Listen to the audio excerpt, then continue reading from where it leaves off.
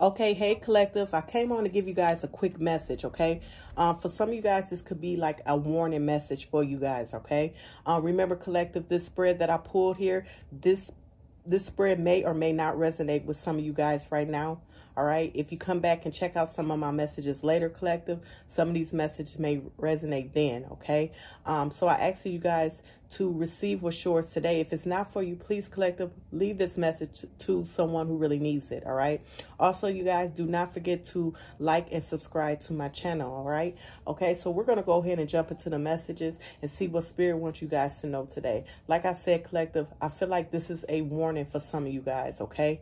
All right. So um, we're going to start with the first card that came out was we have angel number 144, which is for chosen. Okay. We have the spiritual warfare. For some of you guys, collective, I feel like some of you definitely could be some type of chosen individual, okay? Someone is definitely planning on putting you through some type of spiritual warfare, okay? Um, we have the listen to your dreams card, and then we have the dream state. For some of you guys, I feel like your ancestors are wanting you to pay attention to your dreams because I definitely feel like they are showing you who this person is through your dreams, okay?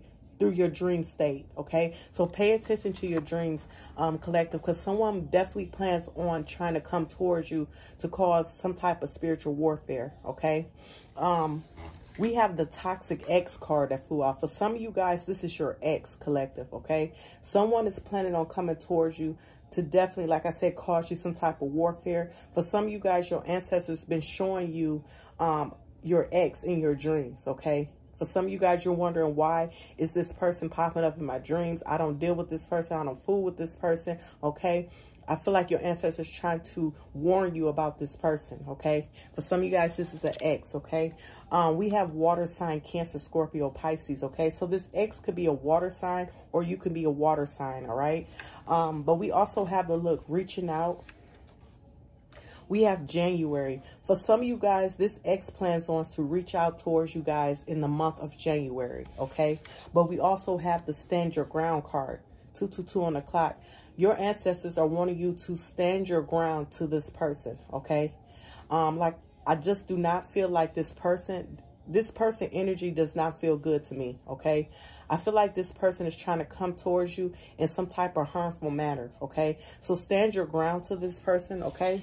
Um, we also have working on gaining your trust. This person is trying to come in and work on gaining your trust. But I feel like this person is trying to gain your trust in all the wrong reasons, okay? All right. We also have the trust your intuition card that flew out. Your ancestors and spirit is wanting you to trust your intuition when this person reaches out, okay? Um, we have the karmic cycle card that flew out, okay? This is someone I feel like you were in some type of karmic cycle with. But look, we have the karmic cycle ending that flew out after karmic cycle, okay? I feel like some type of karmic cycle has came to an end with this ex, okay? Um, we have the resistant change card that flew out. Look, we have the old habits. This person, whoever this ex is, they're going to try to come towards you and make you feel like they changed. But we have the resistant change and old habits. This person has not changed. We have 333 on the clock. This person is still up to their old ways, their old habits, okay? Um, we also have the block card that flew out. For some of you guys, I definitely feel like you have blocked this person, okay? And if you have not, please block this person, okay, collective? Because like I said, I just do not get a good energy from this ex, okay? Um, we have the win at all cost card that flew out. Look, we have you belong to me. So this person, this ex, is trying to win at all at all costs. This ex for some of you guys is still holding on to a connection with you. This person still feels like you belong to them, okay?